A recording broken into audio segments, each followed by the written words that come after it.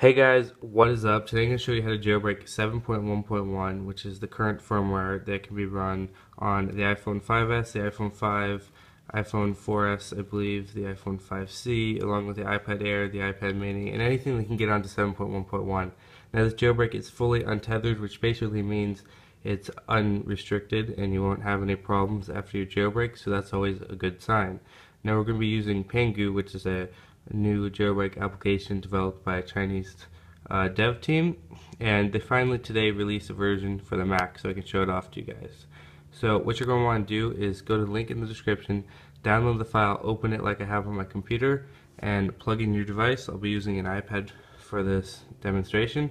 So you can see here I have it um, up. Now what you're going to do is open, click and open uh, Pangu. Now if you have this problem uh, as you might uh, because security is default like this you're going to need to open up your security application and say open anyways. It'll say something like you can't open it because you downloaded from the internet. Now that's just the standard new Mac security if you're running Mavericks I believe. So you're just going to hit open anyway and then just hit open. And then here is the jailbreak. So you can see uh, it translated into an English version which is really nice um, says to back up before you start. So if you have any important information it's a good idea to back up. But all you're gonna have to do for now is hit the jailbreak button. So just gonna be clicking that.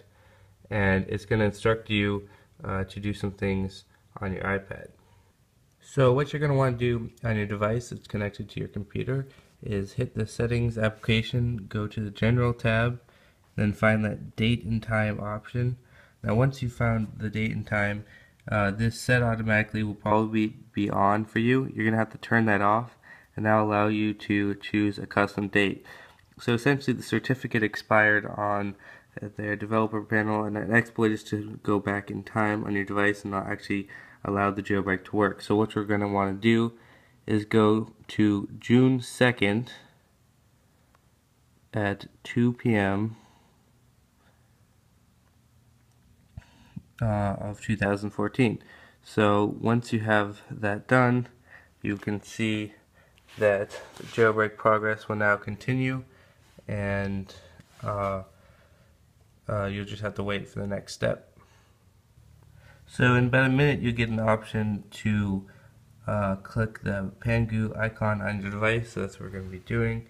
Just switch over to the iPad find that application. It might be on a separate page or a different page than you're on. So you're just going to tap that, hit continue, and they'll start running on your device, and you can go back to the computer. So here we're just going to wait a few minutes and see what happens. Now your device will reboot and then you'll get this prompt.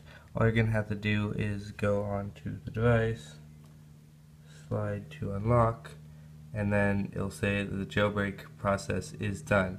Now after this you'll be completely jailbroken, no worries turning off and on your device, everything will work perfectly fine and how it did. The only exception is you will now have uh, Cydia where you can install all the packages that you want. So you can here you can see Cydia working completely fine and everything is function functioning once you're jailbroken.